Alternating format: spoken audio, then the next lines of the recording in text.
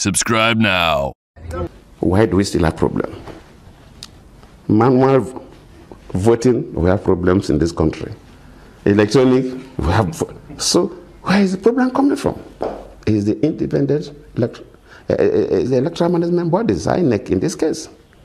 INEC has to sit up so that they will not throw this country into conflagration one day. And people must be serious. INEC must sit up. We should commission one of these internationally uh, known IT companies.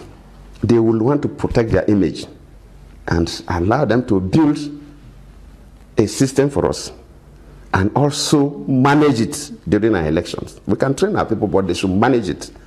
That this last election, they say, oh, one director in charge of IT did this or did not do that. If you bring Google or one of these uh, giants and they agree to build it and manage it for you, there will be nobody in Nigeria will not be involved. So it should be completely neutral.